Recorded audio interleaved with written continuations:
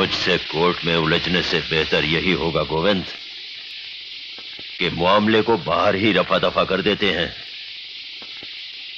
तुम तो जानते ही हो कि इंद्रजीत चड्ढा कभी शिकस्त नहीं खाता।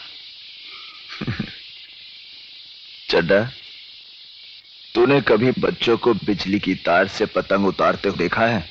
क्या? कुछ तारे ऐसी होती हैं जिसमें से उलझी हुई पतंग बच्चे भी उतार लाते हैं। ये और बात है। दामिनी के केस को छेड़कर जो तार तूने छू लिया है, बिजली का वो झटका लगेगा कि तू झटकना भूल जाएगा। रस्सी जल गई, पर बल नहीं गया।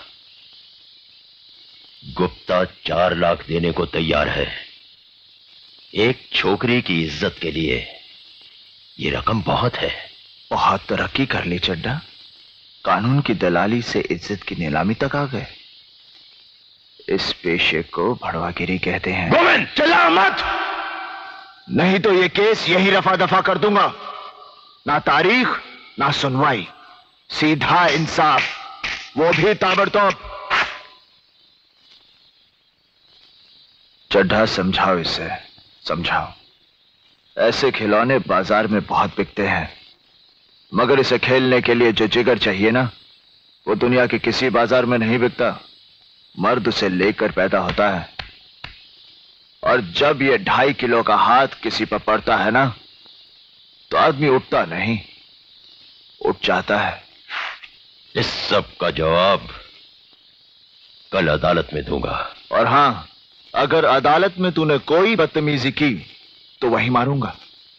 जज ऑर्डर ऑर्डर करता रहेगा और तू पिटता रहेगा। Relax boy